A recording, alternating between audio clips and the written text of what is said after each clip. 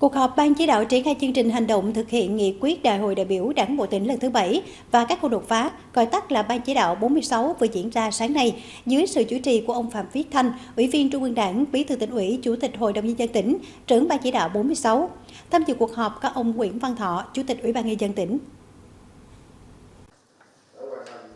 9 tháng năm 2022, Ban chỉ đạo 46 đã theo dõi đôn đốc giải quyết xong 19 trên 34 đầu việc theo kế hoạch năm 2022, còn 15 đầu việc đang tiếp tục triển khai thực hiện theo tiến độ.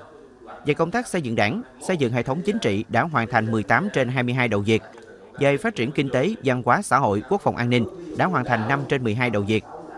Đến nay, toàn bộ 42 dự án trọng điểm đã được xây dựng cụ thể kế hoạch thực hiện, dự kiến thời gian thực hiện từng đầu việc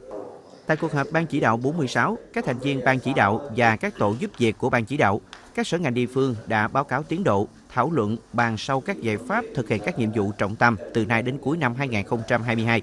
Trong đó tập trung vào nội dung đẩy nhanh các dự án trọng điểm có vai trò quan trọng trong sự phát triển của tỉnh.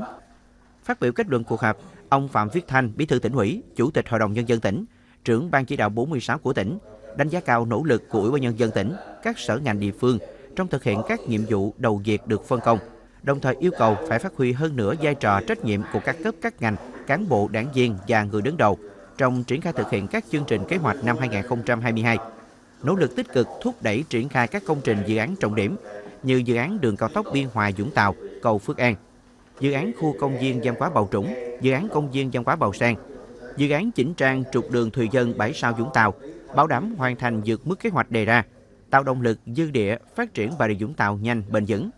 Bí thư tỉnh ủy yêu cầu trong quá trình thực hiện, các thành viên ban chỉ đạo và các tổ giúp việc kịp thời tham mưu đề xuất ban chỉ đạo 46, thường trực ban thường vụ tỉnh ủy, lãnh đạo chỉ đạo xử lý các vấn đề phát sinh những khó khăn vướng mắt nhằm bảo đảm hoàn thành đúng tiến độ kế hoạch đề ra.